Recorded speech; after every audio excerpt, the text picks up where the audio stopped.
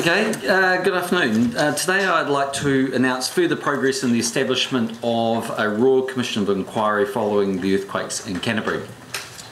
Cabinet has agreed on two names to sit as commissioners with the Chair Justice Mark Cooper. The two people I will recommend will be appointed as commissioners are Sir Ron Carter and Associate Professor Richard Fenwick. Uh, their appointments, once confirmed by the Governor General, mean the Royal Commission will be able to call on their experiences in analysis, problem solving, and engineering. Sir Ron Carter has a considerable background in the engineering sector as a former managing director of Beca Carter Hollings and Ferner Limited and is currently a director of Rugby New Zealand 2011 and the Rural Equities Limited. He has extensive governance experience, including chairing the Civil Aviation Authority, and has led a number of high profile reviews, including the 1999 review on the management of New Zealand's borders and Auckland's water shortages. He is a distinguished fellow of the Institution of Professional Engineers. Richard Fenwick is an adjunct associate professor in civil engineering at the Can University of Canterbury. He is a leader in the field of earthquake engineering and is internationally renowned for his work in the design of seismic resistance reinforced concrete structures. He was awarded a Companion of the New Zealand Order of Merit in 2010 for services to engineering. The Royal Commission's terms of reference have also been finalised. The Commission will be supported administratively by the Department of Internal Affairs and the Minister responsible will be the Attorney General Chris Finlayson. The terms of reference require the Commission to look at two major areas. First, an inquiry into buildings in the Christchurch CBD, looking specifically at what factors led some buildings to fail severely, why some buildings' failure caused extensive injury and death, and why buildings differed as to the extent to which they failed and caused injury or death. That will mean looking at, amongst other things, the characteristics of buildings which may have led to failure, for example, age, location, and whether buildings conform to earthquake risk best practice. The second major area the Royal Commission will inquire into is legal and best practice requirements. It will look at the adequacy of current legal and best practice requirements for the design, construction, and maintenance of buildings in central business districts in New Zealand. The Royal Commission will report back by the 11th of April 2012 that will also uh, release an interim report after six months. The interim re report will contain interim recommendations that inform early decision making on rebuilding and repair work. The final report will present findings on the matters I've outlined as well as the Royal Commission's recommendations for firstly, one, any measures necessary or desirable to prevent or minimise the failure of buildings in New Zealand due to earthquakes.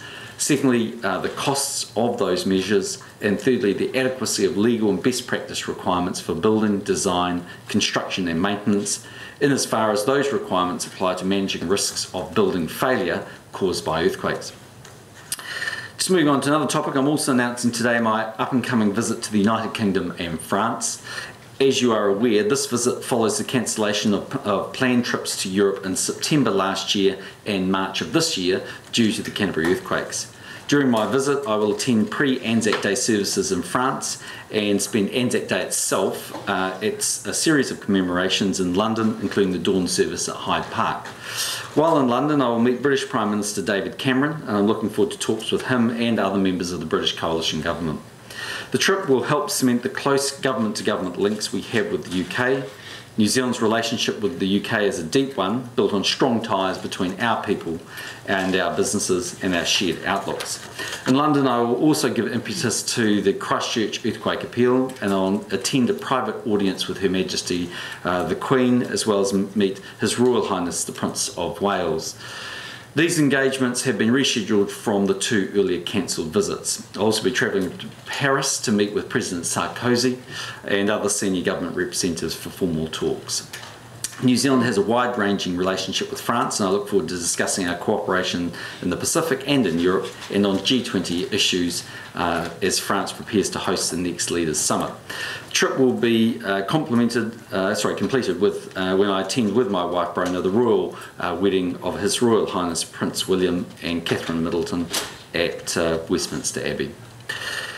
Um, as you're probably aware, uh, Petrobras has been granted a five-year licence to carry out seismic exploration work in the Raukumara Basin.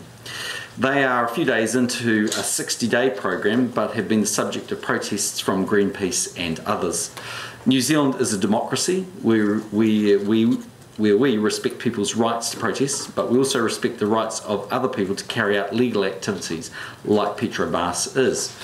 The police are currently exploring all of their options, and the Minister is getting advice uh, on the activities. The government is conscious of environmental issues, and we are in the process of introducing legislation that will address environmental concerns for deep sea wells. It is the government's view that we can balance those environmental concerns with the desire of a great many New Zealanders to create better jobs and better incomes. There's been some debate in recent days about the level of New Zealand's incomes. The government remains committed to closing the wage gap with Australia. A significant amount of Australia's higher wages actually come from their ability to harness minerals, and it's important we don't cut off every option that would help us close that gap.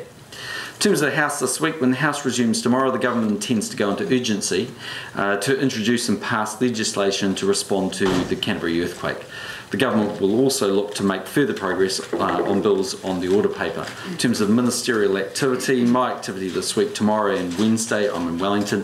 On Thursday, I'm in Christchurch, and on Friday, I'm in Rotorua. And on Saturday, I'll be at the V8 Supercar event in Hamilton. Finally, a word about the good work the Chief Science Advisor, Professor Sir Peter Gluckman, is doing in his role. Last week he released a report on science education for the 21st century. Today he released a discussion paper on the better use of evidence in policy formation. I think it will be of some interest, especially to public service leaders seeking to improve the quality of public uh, policy advice.